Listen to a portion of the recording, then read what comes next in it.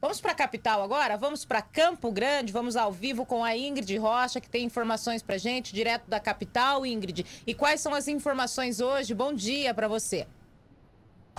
Bom dia, Ana. Bom dia também para toda a sua audiência. Bom, Ana, ontem nós tivemos a primeira sessão da semana na Câmara dos Vereadores aqui de Campo Grande e o projeto aprovado na sessão de ontem é o que busca instituir aqui em Campo Grande seminários, palestras preventivas e divulgação de informações para combater os crimes de informática aqui na capital. A proposta é do vereador João Rocha.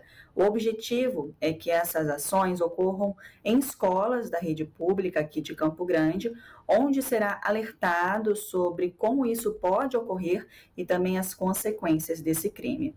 A aprovação ocorreu em primeira discussão e agora vai para a segunda análise dos vereadores. Inclusive, essa proposta já está na, na pauta de amanhã, então deve ser votada de amanhã em segunda discussão.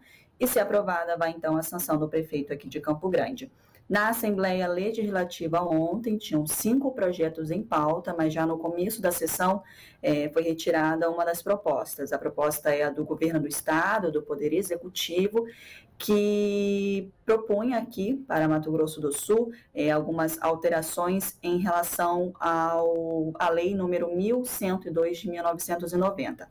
Entre as mudanças propostas, está a troca do termo funcionários por servidor público, inclusão de doenças graves que dão direito ao afastamento, férias parceladas em duas etapas e a permissão para servidores que trabalham em dois turnos por pelo menos 36 horas semanais de se licenciarem de um dos turnos, caso sejam mães, pais, cônjuge ou tutores de pessoas com deficiência. Então, por enquanto, a proposta foi tirada, então, da votação da CCJ, mas por enquanto não está também na sessão de hoje, na pauta de hoje, mas como tem a reunião da CCJ, essa proposta pode ser incluída.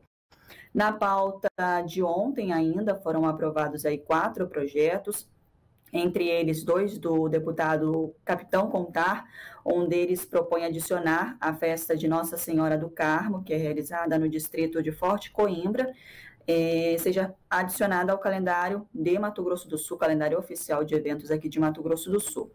Além disso, outra proposta do deputado também aprovada é que propõe mudanças na lei para tornar o acesso à informação mais fácil ao cidadão. Em discussão única, os parlamentares também aprovaram o projeto que apelida Porto Murtinho de Portal da Rota Bioceânica. Hoje, então, temos somente a sessão da Assembleia Legislativa e amanhã, Câmara e Assembleia. Ana.